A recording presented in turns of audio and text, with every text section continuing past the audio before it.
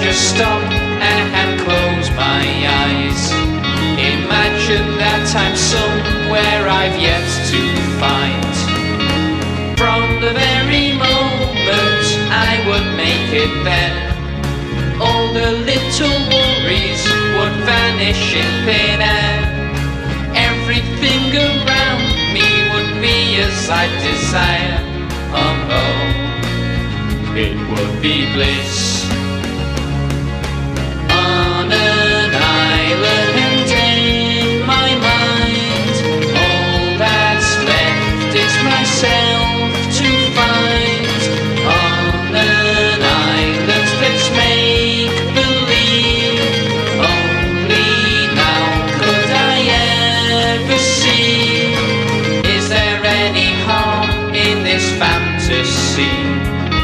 Or should I see things realistically?